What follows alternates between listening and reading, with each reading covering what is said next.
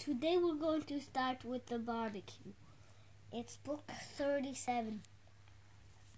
Oxford Reading Tree. R- Roderick Hunt. Alex Bridge. Bridge Towers. Wilf's, Wilf's dad wanted a party. He put up some lights. Wilma and Dad made a barbecue. Wilf and Mom took the food outside.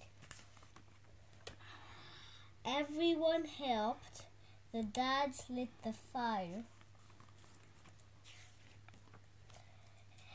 The fire went out. The children were hungry. The dads lit the fire again. It began to rain. The dads cooked sausages. The children were fed off. The sausages burned. Yuck, said Chip.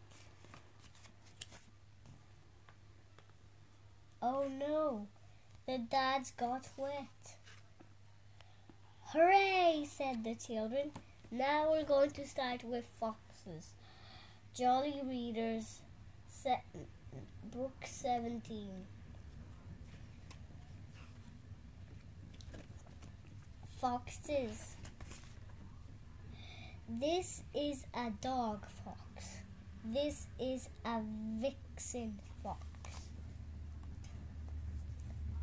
This vixen has three cubs. A fox's tail is a brush. Foxes live in dens.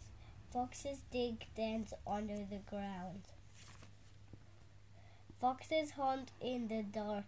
Look out at our uh, look out, rabbit.